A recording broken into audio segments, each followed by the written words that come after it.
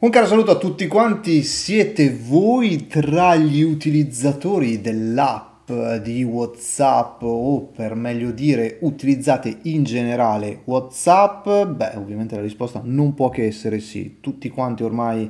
ce l'abbiamo in modo stabile da anni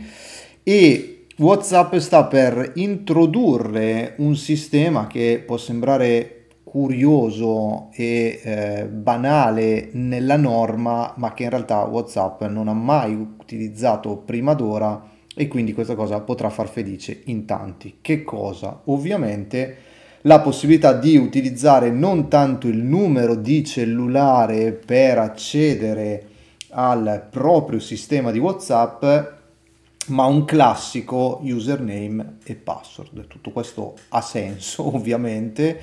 eh, questa cosa è in versione beta già da un bel po', eh, erano stati fatti dei test mesi fa, si potrà anche aggiungere quelli che vengono chiamati handle, cioè chiocciola e una username che voi vorrete adottare, ma questa cosa potrà naturalmente aiutare tante persone. Attualmente c'è da considerare che ci sono stati fatti dei passi avanti. Eh, io vi suggerisco per esempio l'app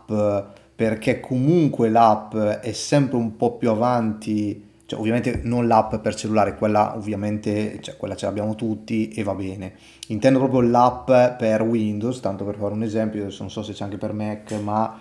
eh, per Windows per esempio l'app è ultra comoda perché è completissima al 100%, potete addirittura condividere lo schermo con gli altri. Abbiamo, ho fatto altri video eh, in cui parlavo di, queste, di questa cosa L'app è veramente molto comoda e vi permette anche di vedere gli stati, di scrivere ovviamente, eccetera, eccetera. Nasce un po' per la versione web come test e come esperimento, adesso addirittura si può sfruttare senza, eh, il, ehm,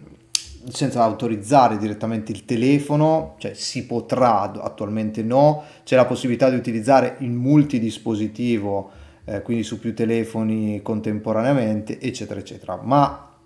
chiudiamo qui con il concetto della novità che c'è su WhatsApp, cioè la possibilità che ci sarà, adesso è in rollout, è ancora in test, eccetera, eccetera, però il fatto che su WhatsApp potremo godere del, um, del nome utente è sicuramente una cosa comoda, ma anche e soprattutto una cosa discreta eh, non è necessario che io ti debba dare un numero di telefono per poter interagire con me, anche perché comunque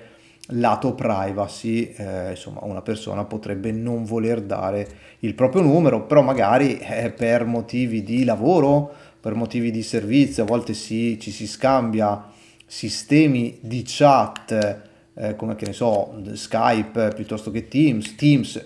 è strumento di lavoro, può essere anche strumento personale, Skype può essere anche uno strumento esterno, ma che così comunque non dà eh, un obbligo di interazione esagerata lato privacy e ci può stare soprattutto perché il cellulare insomma c'ha dietro giustamente insomma tutta una serie di logiche per cui uno potrebbe non volerlo dare. Questa cosa arriverà e ovviamente non possiamo che essere felici di questa innovazione Grazie a tutti, continuate a seguirmi, continuate ad amarmi, alla prossima e ciao. Ah, ovviamente ragazzi iscrivetevi al canale. Grazie, ciao.